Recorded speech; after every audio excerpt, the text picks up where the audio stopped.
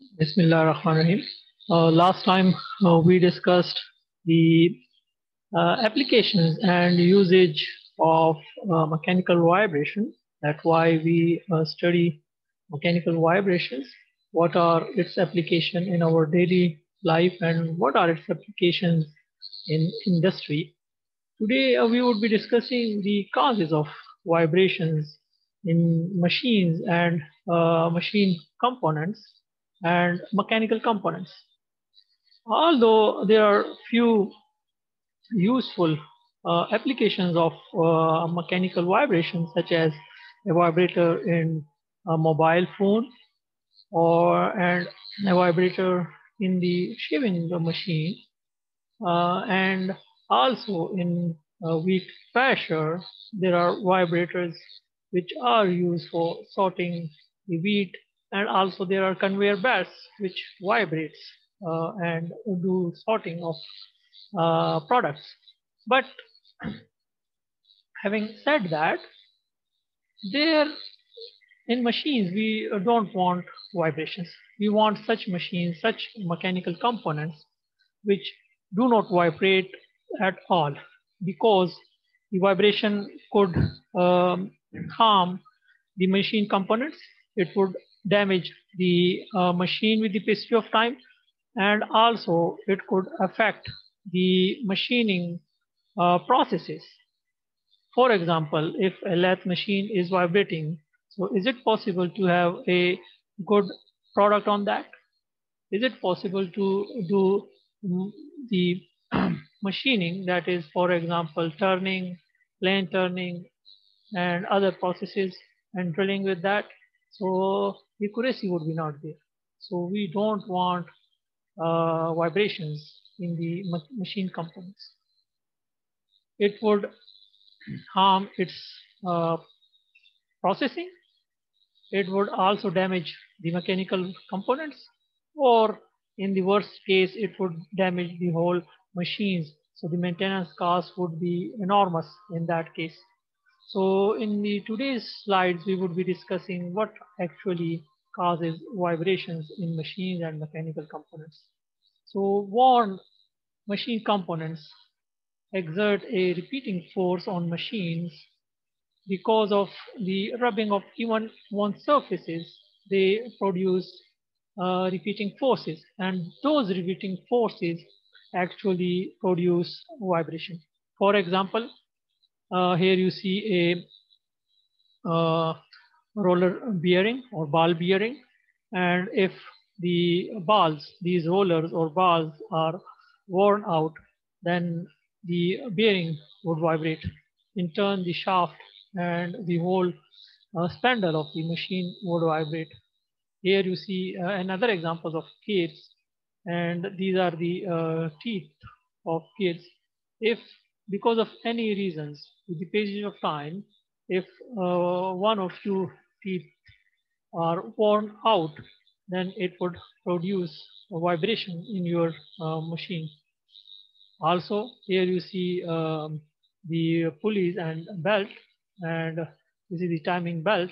And if the teeth are worn out, then there would be vibration in the belt, vibration in the pulleys and the shafts, or overall there would be vibration in the machine. So worn out parts. When the machine is new, it's each and every component is new.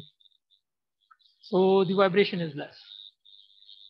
And with the passage of time, as wear and tear occurs in the machine, uh, then what happens? The level of vibration, the amplitude of vibration uh, increases with the passage of time and then it would reach such a stage stage or state where we would decide that now it's the time to uh, shut down the machine or apparatus and do the maintenance.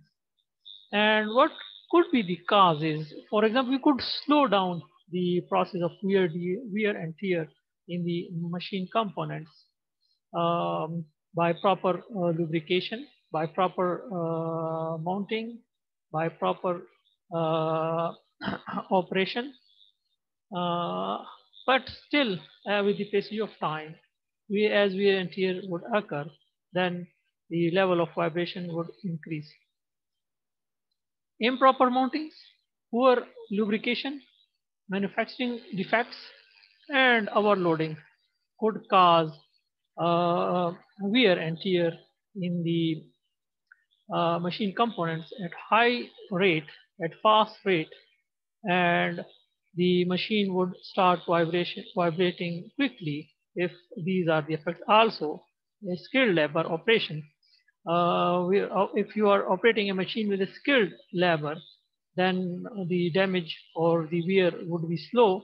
However, if you are actually operating the machine inaccurately, then in that case, the wear and tear would be more.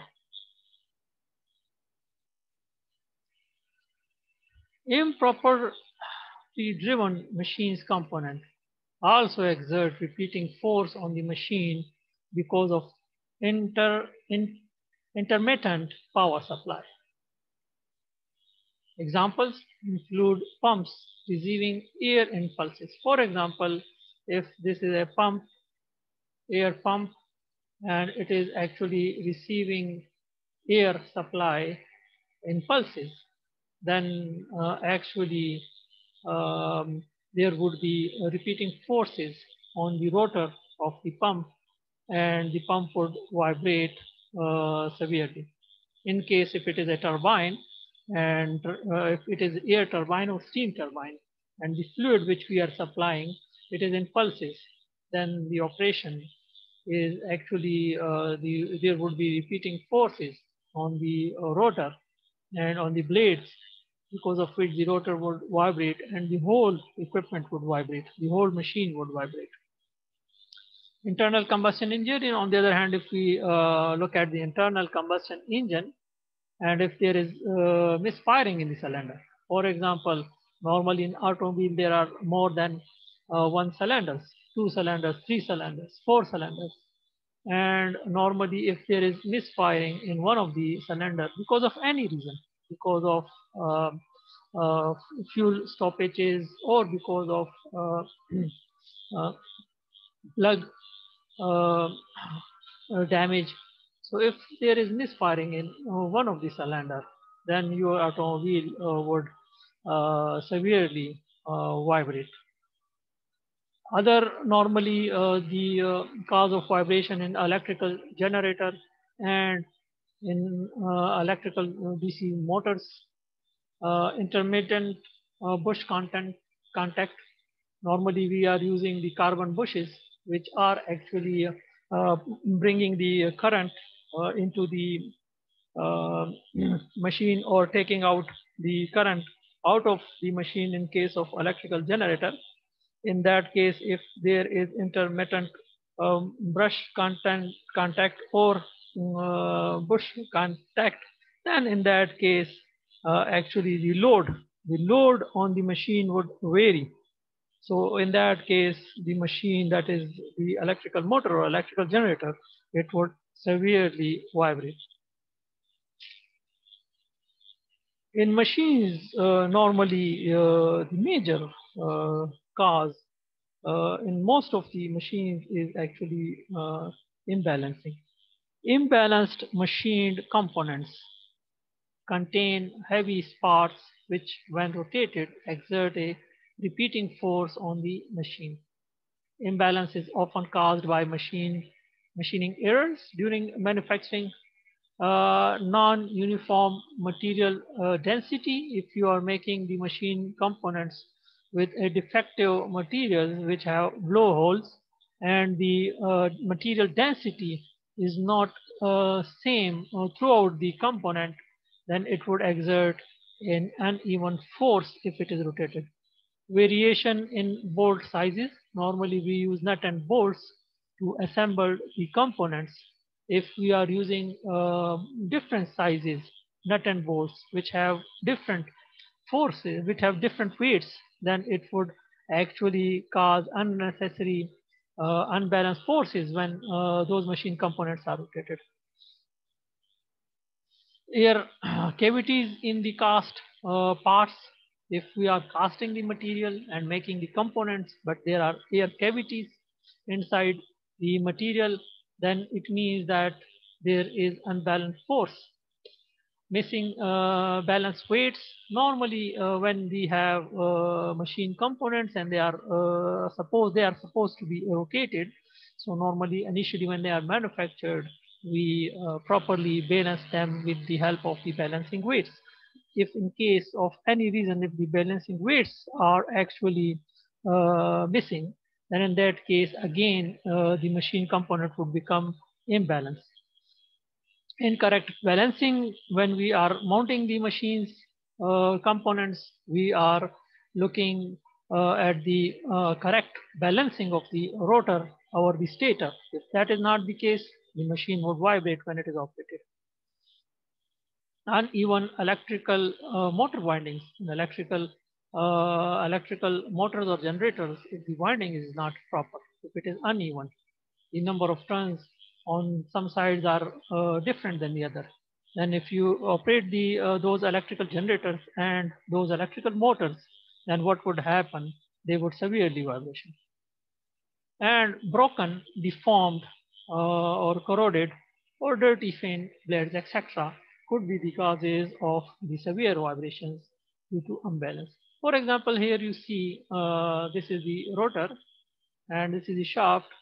The shaft is not passed to the center of the rotor. The shaft is eccentric. So what would happen, what we are expecting? So when uh, this rotor is rotated, so on this side the weight is more, so there would be an unbalanced force and that unbalanced force would produce severe vibration as the rotor is rotated. Similarly here, because of any uh, any uh, any reason, um, you could see that the shaft is bended one. Uh, maybe because of manufacturing part or it has bended uh, during the machining processes or during the assembling processes. So uh, any, any could be the cause, but if the shaft is bended and if we uh, operate this machine, the rotor is rotated, then the whole assembly would severely vibrate. Here, if this is a fan uh, uh, rotor, uh, you could see a number of blades. On this blade, there is some dirt accumulated on the blade. So this blade weight is more than the other one, other blades. So there is an unbalanced force on the rotor. Uh, so when it is rotated, so what would happen? Uh, the whole assembly would vibrate severely. Similarly, if with the passage of time, uh, one of the blade is corroded, uh, then the this the weight of this blade is less than the other two. So again, the uh, rotor is unbalanced, and because of this unbalanced rotor, there would be severe vibration. So unbalanced machines part, unbalanced machine part, especially if there is a rotor in the machine and it is not balanced, uh, uh, then it would produce uh, severe vibration in your uh, machine components. Misalignment is another reason uh, which could produce severe vibration when your machine is operated. For example, here you see that this is the electrical motor and this is actually, let's say, the driven machinery. This is the shaft of the uh, driven machinery. Uh, and you could see that uh, there, there is misalignment. If they are coupled, if these two shafts are coupled, in this manner, this is a misalignment. The shaft, this shaft and this shaft should be, the axis of these two shafts should be in same line. These should be coincident. However, you could see that they are offset from each other. So we call this misalignment. And this is an example of uh, parallel misalignment. And if we assemble these two machines in uh, such misalignment case, and then we operate the machine, then what would happen? uh, there would be severe vibration. Here you see that these two shafts, uh, which uh, are uh, actually misaligned uh, through some angle. So this type of misalignment is known as angular uh, misalignment. And this angular misalignment, if these two machines are coupled with the coupling in such a manner, then they would produce vibration. So misaligned machine components create bending moments which when rotated exert a repeated uh, force on the machine. Misalignment is often caused by inaccurate assembly, uneven floors, thermal expansion could also be the reason of misalignment, distortion due to um, fastening uh, torque and improper mounting of coupling. So normally couplings are used to couple these two shafts. So these are some reasons which could produce misalignment in your uh, machines and uh, that could lead to severe mechanical vibration in your machine. Other causes looseness. Looseness can cause vibration in both rotating and non-rotating machinery. Looseness is often due to excessive bearing clearances. Loose mounting, bolts, uh, mismatched parts, corrosion, and cracked structures uh, could actually lead to uh, looseness and uh, vibration. Here you see that we have a rotor. This is the shaft of the rotor. And this is actually the symbol which we are using uh, for the bearing. So this is a bearing which is actually supporting the shaft. So one bearing is here on this side. However, the other bearing is on this side to support the shaft. If the clearance between the shaft and the hole of the bearing is uh, more uh, and uh, the shaft the shaft is loosely uh, mounted inside the bearing hole. Then when the uh, machine is operated when the rotor rotates it would wobble. It would wobble it would vibrate and it would uh, severely vibrate the whole machine. Also here you see um, an electrical motor or electrical generator. A machine which is actually uh, mounted on the ground, but normally the bolts are not uh, tight enough to keep the machine um, properly mounted or tightly mounted on the ground. So if you have a loose bolts, in, uh, as you see, so in that case, actually when we operate the machine, the machine would vibrate. So looseness could also cause uh, vibration inside the machine. So initially, uh, uh, vibrations in machines, we do not do not want vibration. We have to avoid the vibration because it could uh, cause a number of uh, things which which which uh, we don't want. For example, vibration could uh, it would harm your processing the process, it would harm your product. Similarly, as the vibration takes place, the damage of mechanical components would exaggerate. It would become more as the machine vibrates. So the machine would fail quickly. It would need more maintenance if the machine is uh, vibrating. So the parts would uh, wear uh, quickly. So we would need more maintenance. So uh, first of all, we don't want vibrations inside the machines. We want zero vibrations. But actually, uh, it is uh, uh, practically impossible to have such machines in which vibration is almost zero.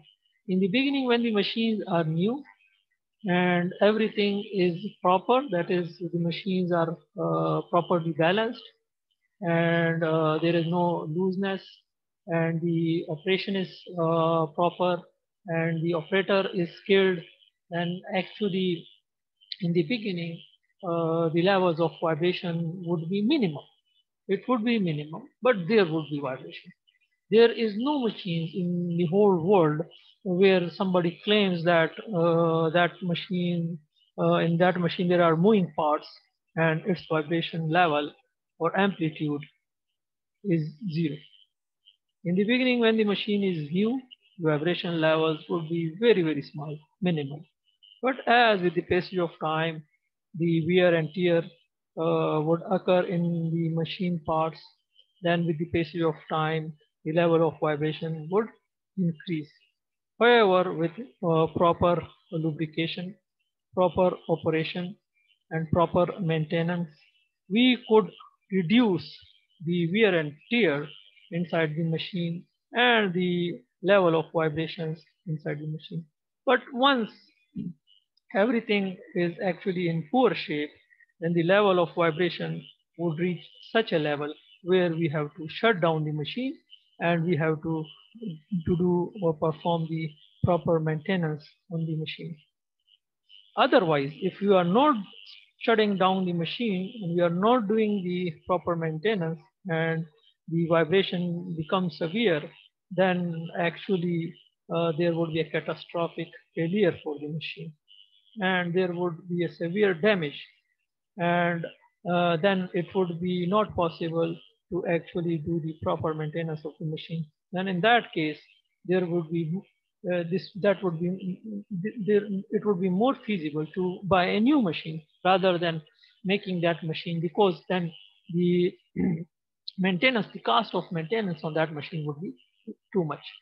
So for example, as you see that in the beginning, when you we have new automobile, when we start the engine, the noise level and also the vibration level is minimal. But as with the passage of time, then when wear and tear takes place in automobile inside the engine, then the level of vibration increases and also the sound level increases. So the same actually happens in all of the machines. Now, we will discuss uh, some uh, review uh, slides about the vibrations. As in the last lecture, we discussed that vibration is actually to and fro motion which repeat itself. So any motion that repeat itself after an equal interval of time, then it is known as vibration. To and fro motion which repeats itself after an equal interval of time, then it is uh, vibration. So whenever there is motion in the mechanical uh, components, then there would be vibration. There would be vibration. So how to mathematically express uh, those mechanical vibrations? Actually, we would be using the knowledge of uh, physics. We would be using the knowledge of mathematics. and we would be using the knowledge of uh, other engineering uh, subjects, for example, statics, dynamics, etc., to actually model uh, the uh, systems, mechanical systems, and then actually study its behavior in the vibration. When they are subjected to the vibration, what would be its response? So any vibratory system, when we are modeling the vibratory system, so first we have to look into its physics. Uh, what is inside the system? So vibratory systems are normally uh, when we uh, do the modeling, we have to look into the system. So all mechanical uh, systems would have elasticity. It would have elasticity. They, they are elastic. Elastic means when you apply a force, then deformation would occur in them. So they are not rigid. Rigid is actually the body. When you apply even infinity force, then the deformation would be zero. But in reality, uh, this is not the case. When you subject the material to external loading, then deformation occurs. There is elasticity in the material. So all machine components would have elasticity. All machines would have elasticity. So we have to keep in our mind that the mechanical components would have elasticity. So we have to model for elasticity. Similarly, the machine components will have mass. That is the reality. So we have to keep in our minds that machine components would have mass or inertia. Damper. Damping. There would be damping in the machine components or in the machine. By damping, we mean energy losses. When there are machine components and they are moving relative to each other, because of friction, there would be energy dissipation, which would be going out of the machine. So that damping, that energy loss, the energy which is going out of the machine in terms of friction or other reasons which we, which we, we would be studying, we model that energy loss which is going out of the machine as damping.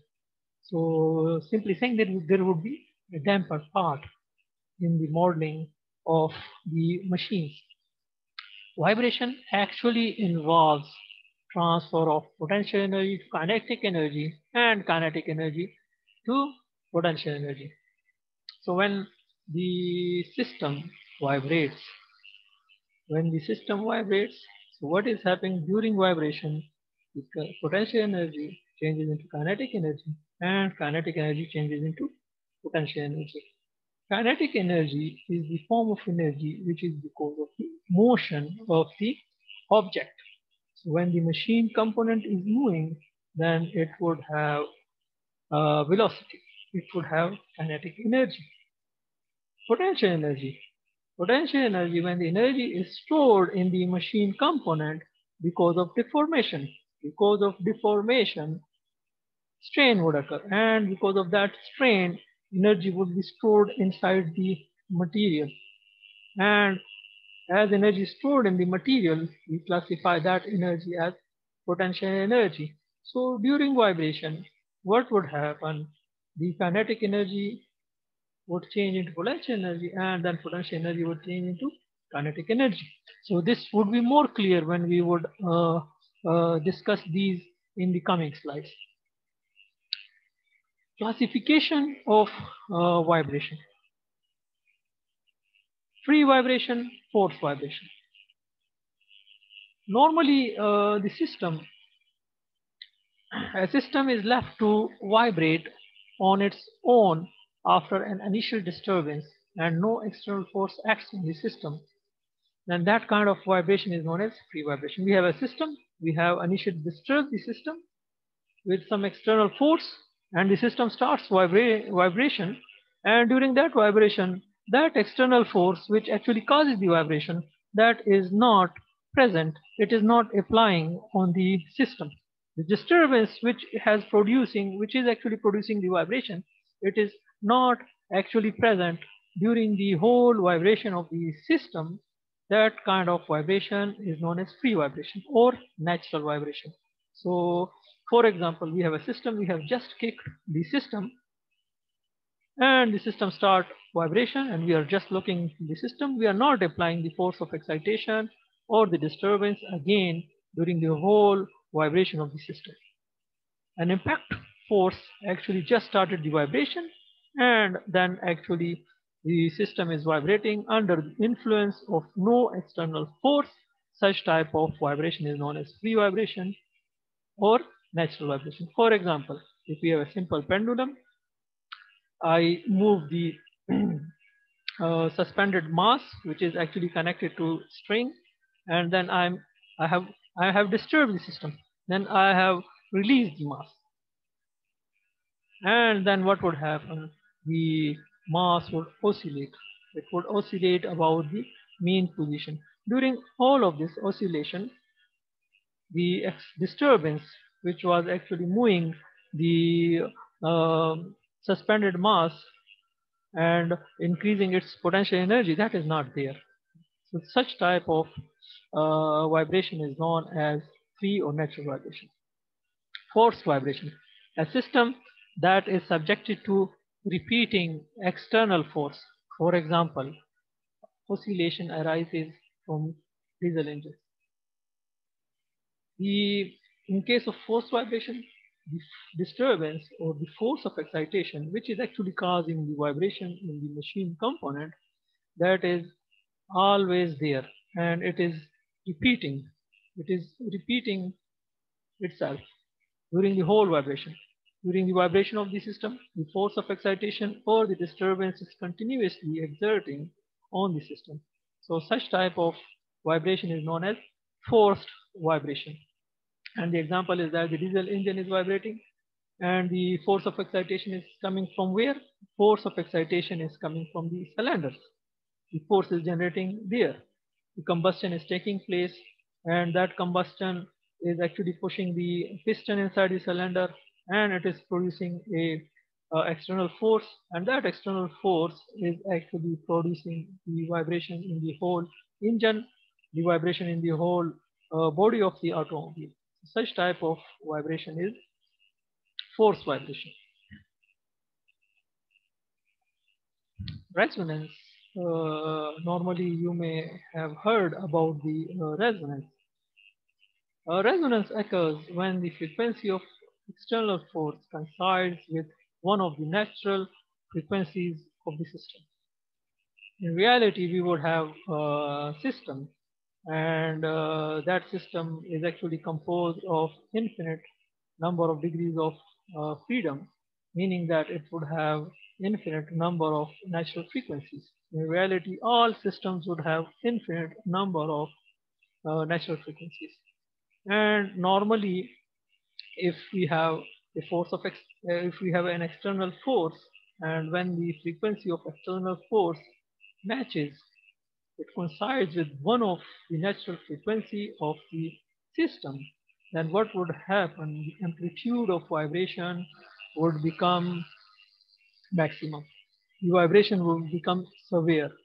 And this phenomena is known as resonance. So normally resonance occurs when actually the uh, frequency of external force, force of excitation coincides with one of the natural frequency of the system. Other uh, types of uh, vibration, we classify them as undamped vibration and damped vibration. Normally, as we discussed that in normally in mechanical systems, uh, there would be losses. There would be energy losses. There would be mechanical energy losses. For example, there would be friction between the uh, moving and stationary parts, and because of that friction, heat would be generated. Heat is energy. That energy is coming from somewhere. So in reality, that energy would be coming from the system. So there would be energy dissipation out of the system. Energy dissipation of, out of the system. We model that energy losses as damping, as damping in the system. So if there is minimal or no energy losses, there is no energy losses in the system, then during vibration, uh, there is no energy losses, we termed that vibration as undamped vibration. So when no energy is lost or dissipated in friction or other resistance during oscillations, we call that vibration as undamped uh, vibration. In reality, in reality, there would be friction, there would be other resistances due to which there would be energy loss of the system. So actually we would uh, not have, if we don't have even a single system where there is zero energy loss during vibration, there would be energy loss. But in some cases, energy loss is very, very small. And it is so small that we could ignore it. So for the sake of simplicity, we ignore the energy losses. And we say that there is no damping in the system. And we would model that vibration as undamped vibration. But remember that in reality, all vibrations are damped vibrations because in reality, there would be energy losses in the system during vibration in, because of the friction and other resistances. So damped vibration. When any energy is lost or dissipated in friction or other resistance during oscillations. So all real vibrations are damped vibration.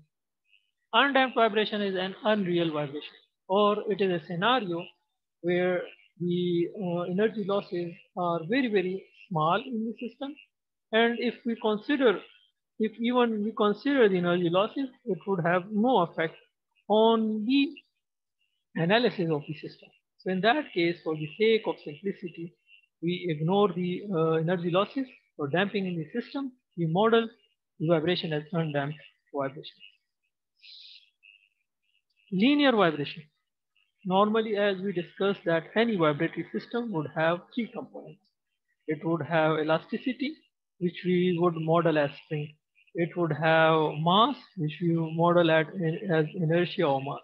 It would have uh, energy losses, which would we, which we would be modeling as uh, damper. If all these three basic components of the vibratory system, uh, that is spring, mass, and damper, uh, linearly, then the mechanical vibration is termed as linear vibration. If all of these, the behavior of these three mechanical components is linear during vibration. So we would model that vibration as linear vibration. If any one of these three mechanical components, that is spring, mass, or damper, they behave non-linearly, non-linearly, then in that case, the vibration would be non-linear vibration. And we have to model that uh, vibration as a non-linear vibration. Other of, uh, forms of vibration, deterministic vibration and non-deterministic or random vibration. Deterministic vibration, if the value or magnitude of the excitation, that is force or motion, acting on a vibratory system is known at any given time. So that type of vibration is known as deterministic vibration. Sinusoidal vibration. We have a sine wave. If the vibration is sinusoidal, then uh, if we plot it, we would have a sine wave. We would have a sine wave. Uh, that is the case of um, deterministic vibration because we know exactly what, at what time, what would be the amplitude, at what time, what would be the level of uh, vibration. At what time we, were, we would have crest and we would have. So that type of vibration, sinusoidal vibration or periodic vibration is actually deterministic vibration. The value or the magnitude of the vibration could be determined at any time interval. At any time interval. If we have a sine wave, at any time interval, let's say at time zero, what is the amplitude? At time time is equal to 4 seconds, what is the amplitude of vibration? At time is equal to one minute, what would be the level of vibration? We could very easily determine that. So we could very easily determine that experimentally and also theoretically or from the plot of the uh, actual vibration. So such type of vibration is known as deterministic vibration.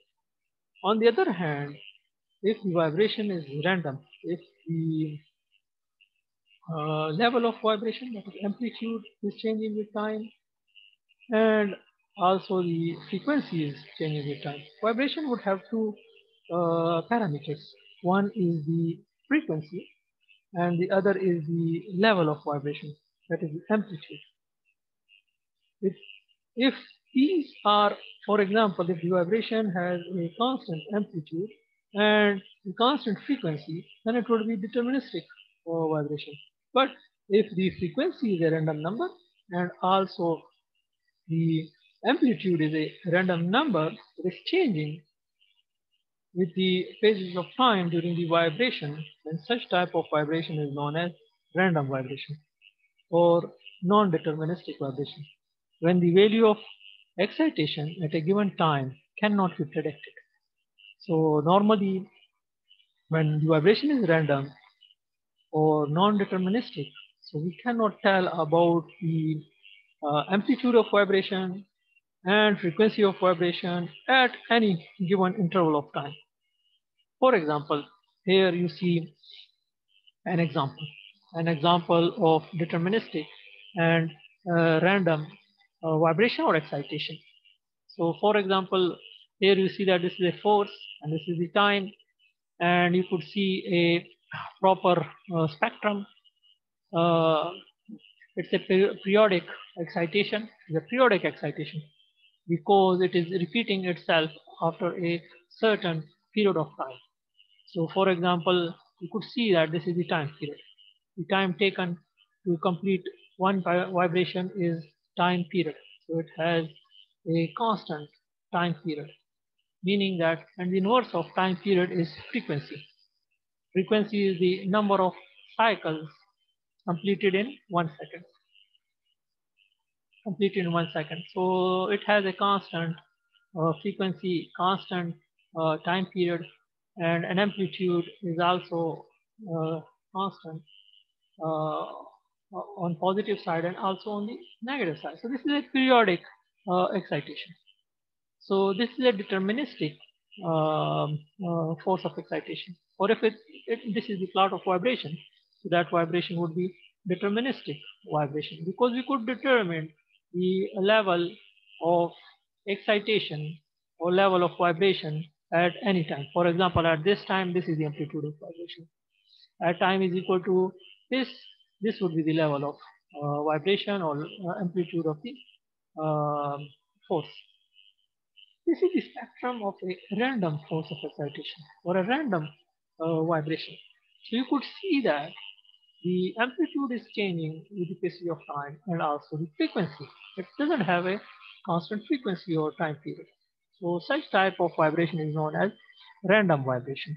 So we cannot predict the amplitude, we cannot predict the frequency in this case. In this case, we could predict the uh, frequency and uh, amplitude at any given time. However, this is not the case here. So this type of vibration is known as uh, random vibration. This type of vibration is known as periodic and deterministic vibration.